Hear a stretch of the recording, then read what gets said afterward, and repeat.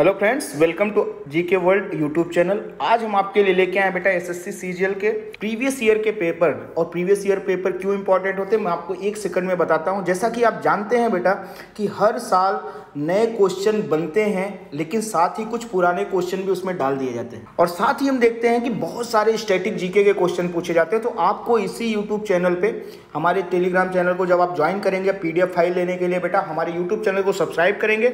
और जैसे ही आपको टेलीग्राम का लिंक मिलेगा, तुरंत ज्वाइन कर लेंगे तो आपको स्टैटिक जीके के पूरे वीडियोज़ मिल जाएँगे, जो कि आपको एग्ज़ाम में बहुत ही हेल्प करेंगे। तो आपको हम प्रीवियस ईयर के पेपर के साथ साथ ये भी बताते चलेंगे कि कौन से सेक्शन से ज़्यादा क्वेश्चन पूछे जाते हैं, ताकि आप जब पेपर देने जाओ तो आपको रिविजन करने में ज़रा भी दिक्कत ना हो। तो चलिए देखते हैं आज कौन सा पेपर है हमारा। तो पहले देखेंगे कितने आते हैं।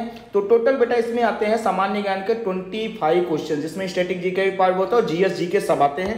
तो इसमें देखते हैं सबसे पहले कि कौन सा पेपर है। तो यह है तेरह आठ दो हज़ार इक्कीस का पेपर और ये आफ्टरनून शिफ्ट का है जो कि बारह से एक बजे पेपर हुआ था। तो चलिए पहले क्वेश्चन से देखते हैं आज का। तो हमारा पहला क्वेश्चन कौन सा है? निम्नलिखित में से किसने लंदन में सर विलियम हटकर्जन वाइली की हत्या की थी? सुखदेव थापर ने, सूर्य सेन ने मदन लाल ढिंगरा ने या खुदीराम बोस ने? तो इसका सही उत्तर क्या होगा? इसका सही उत्तर होगा मदन लाल ढिंगरा ने किया था। और मदन लाल ढिंगरा ने इनको क्यों मारा था? ये आप एक सेकंड में आपको बता देता हूँ, क्योंकि यही वो थे जो ऑर्डर दिए थे कब? जलिया वाला बाग कांड के लिए। इन्होंने ही ऑर्डर दिया था। उस टाइम पे बंगाल, कहाँ के? पंजाब के गवर्नर हुआ करते थे। जलिया वाला बाग जो हुआ था पंजाब में, वहाँ के गवर्नर हुआ करते थे। आरबीएल बैंक का कारपोरेट कार्यालय कहाँ स्थित है? श्रीनगर में, मुंबई में, पटना में या बेंगलुरु में तो इसका कहाँ पे है? मुंबई में इसका आरबीएल बैंक का कारपोरेट कार्यालय स्थित है। भारत ने निम्नलिखित में से किस देश के साथ फरवरी 2021 में लालंदर यानी सतूत बाँध के निर्माण के लिए एक समझौते पर हस्ताक्षर किए थे? ब्राज़ील के साथ, जापान के साथ, ऑस्ट्रेलिया के साथ या अफ़गानिस्तान के साथ तो हमारा ये समझौता हुआ है, अफ़गानिस्तान के साथ हम वहाँ पे ऐसे और तीन बांधों का निर्माण कर रहे हैं, जिसमें से एक सतूत भी है। निम्नलिखित में से किस वर्ष में बाबर द्वारा मुगल साम्राज्य की स्थापना की गई थी। तो ये देखिए रिपीटेड क्वेश्चन है। आप बोलेंगे रिपीटेड क्वेश्चन कैसे? अभी आपको बता दो पहले आंसर बता दो। 1526, 1578, 1699 या 1634 तो इसका सही उत्तर क्या होगा? 1526 और इसके पहले वाला जब आप हमारा वीडियो देखेंगे तो उसमें पहुँचा है कि किसके किसके बीच युद्ध हुआ जिसमें मुगलों की स्थापना हुई। तो ये पानीपत का प्रथम युद्ध है। पानीपत का प्रथम युद्ध है जो कि 1526 में हुआ था। किसके बीच में? बाबर और इब्राहिम लोदी के बीच में। और यहीं से मुगलों की शुरुआत हुई तो इब्राहिम लोदी के बीच में और ये दूसरी या तीसरी बार अलग अलग तरीके के घुमा के सवाल पूछा जा चुका है। मैसूर पैलेस का निवास स्थान था। किसका? चंदेलो का, पलास का, बुंदेला का या वोडियार्स का? तो इसका सही उत्तर क्या होगा? वोडियार्स वंश का था। वोडियार वंश का होगा? आपको सोच रहे होंगे कि कहाँ पे आ गया वंश? तो आप देख सकते हैं इसको संगम युग में भी ये वंश मिलेगा। जब मैसूर में सत्रह सौ निन्यानवे में भी टीपू सुल्तान आखिरी युद्ध में हार गए, चौथा आंग्ल मैसूर युद्ध में, तब वोडियार के ही शासक को बिठा दिया गया था एक छोटे से बालक को। टूथपेस्ट बनाने के लिए निम्नलिखित में से किसका उपयोग नहीं किया जाता है? नहीं पूछ रहे ध्यान दीजिएगा। एल्यूमिनियम ऑक्साइड, सिलिका, चूना पत्थर या गैलेना। तो इसका सही उत्तर क्या होगा? इसका सही उत्तर होगा, गैलेना का उपयोग नहीं किया जाता। बाकी ये उपयोग में लाए जाते हैं। नवंबर 2020 में निम्नलिखित व्यक्तियों में से किसे बागटा यानी कि British Academy of Film and Television Arts Breakthrough Initiative में ब्रांड एम्बेसडर के रूप में घोषित किया गया था। अजय देवगन को, ए आर रहमान को, कुलदीप हांडू को या अक्षय कुमार को तो इसका सही उत्तर क्या होगा? संगीतकार है हमारे ए आर रहमान, उन्हीं को इसका ब्रांड एम्बेसडर घोषित किया गया था। निम्नलिखित में से किस राज्य में रोआ वन्य जीव अभ्यारण्य स्थित है? हर साल वन्य जीव अभ्यारण्य से कोई ना कोई क्वेश्चन ज़रूर आता है। तो आप अभ्यारण्य बड़ा ध्यान से पढ़िए। इसका हम एक आपको वीडियो बनाएँगे जो कि मैप के साथ होगा, ताकि आपको सारे अभ्यारण्य एक साथ याद हो जाए। त्रिपुरा, हरियाणा असम या पंजाब। तो इसका सही उत्तर क्या होगा? इसका सही उत्तर होगा त्रिपुरा। कहाँ पे है रोआ त्रिपुरा में। रुइया गोल्ड कप निम्नलिखित में से किस खेल से संबंधित है? सेतु से, वाटर पोलो से, बैडमिंटन से या तैरने से? तो इसका सही उत्तर होगा सेतु से संबंधित है रुइया गोल्ड कप। निम्नलिखित में से किस राज्य ने S N A N S A S Social Awareness and Action two two का शुभारंभ किया है? उड़ीसा ने किया है, उत्तर प्रदेश ने किया है, सिक्किम ने किया है, मध्य प्रदेश ने तो इसका सही उत्तर क्या होगा? मध्य प्रदेश ने इसकी शुरुआत शुरुआत के सोशल अवेयरनेस के लिए।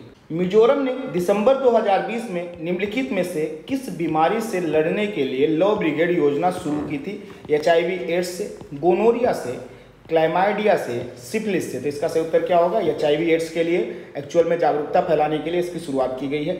जनवरी 2021 में SBI Cards and Payment Services Limited के कार्यकारी अधिकारी निम्नलिखित में से किसे प्रबंध निदेशक और प्रमुख के रूप में नियुक्त किया गया था?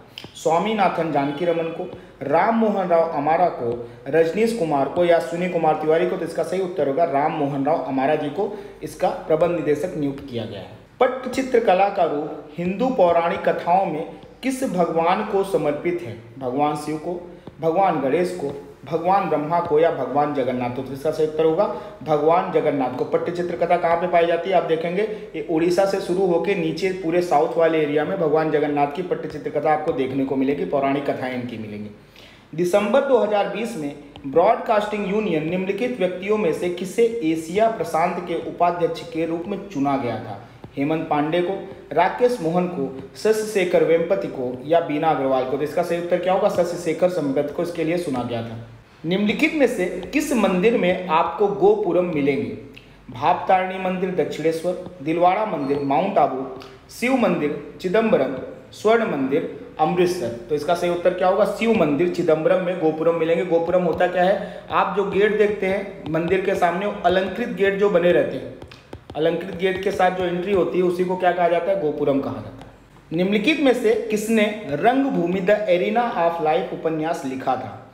अबिंद्रनाथ टैगोर, मुंशी प्रेमचंद, रविंद्रनाथ टैगोर या महात्मा गांधी। तो इसका सही उत्तर होगा, मुंशी प्रेमचंद ने इसको लिखा था, रंगभूमि द एरिना ऑफ़ लाइफ।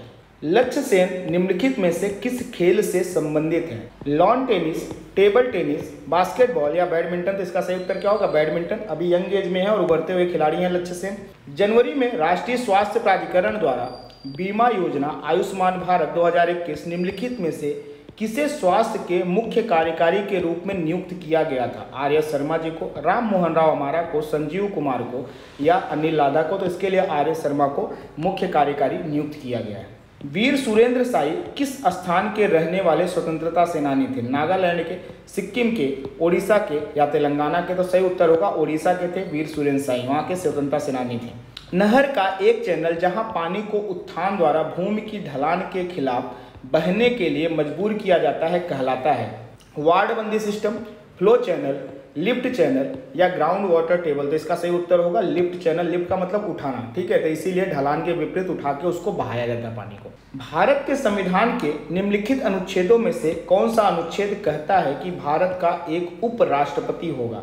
अनुच्छेद पचहत्तर, अनुच्छेद तिरसठ, अनुच्छेद पैंतालीस या अनुच्छेद छप्पन तो इसका सही उत्तर होगा। अनुच्छेद तिरसठ कहता है कि भारत का एक उपराष्ट्रपति होगा। दाब का मान प्राप्त करने के लिए आप द्रव में प्रणोद को किस प्रकार विभाजित करते हैं? क्षेत्र के हिसाब से, घनत्व के हिसाब से, द्रव्यमान के हिसाब से या वॉल्यूम के हिसाब से तो हम इसको कैसे प्रणोद को क्षेत्र के हिसाब से विभाजित करते हैं, उसका एरिया देखते हैं।